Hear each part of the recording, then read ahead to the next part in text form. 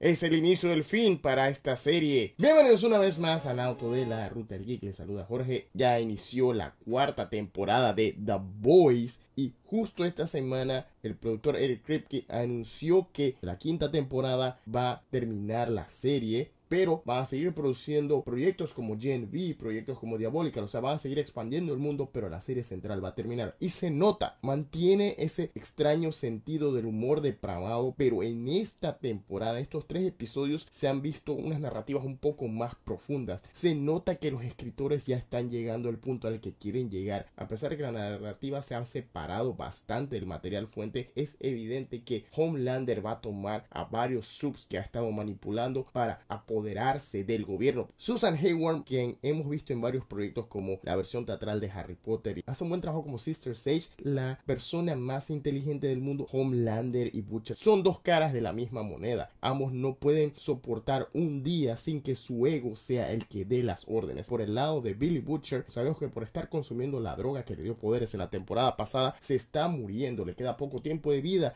y está tratando de recuperar desesperadamente a su hijo Ryan, que realmente es hijo de Homelander. Homelander está en el punto de quiebre, ya está harto de ser el héroe de las masas, simplemente quiere aplastar a las hormigas que somos los humanos. Somos el futuro, Charles, ellos no. Ryan, el hijo de ambos, y cómo está dividido entre las cosas que Homelander lo está obligando a hacer y Butcher tal vez sí sea más humano que su propio padre. Huey, su padre, Huey no ha podido estar con él desde que se unió a Butcher y a los Boys. Sí ha seguido la carrera de Simon Peck desde Shaun of the Dead, que es como que bien doloroso ver ahora a Simon Peck todo viejito interpretando a un señor hospitalizado. Aparece la desaparecida madre de Huey, personajes como A-Train, Ashley, nuevo Black Noir, como todos ellos están tratando de buscar un propósito o simplemente ya se dieron cuenta muy tarde que es difícil encontrar un propósito cuando tienes una entidad como Homelander vigilando tus actos. Vamos a explorar más del pasado de Químico, vamos a explorar un poquito más de lo que es Starlight ahora que se convirtió en una figura para el público, una temporada diferente a lo que hemos estado acostumbrados. Va a tener todas las cosas que caracterizan a The Voice, pero va a ser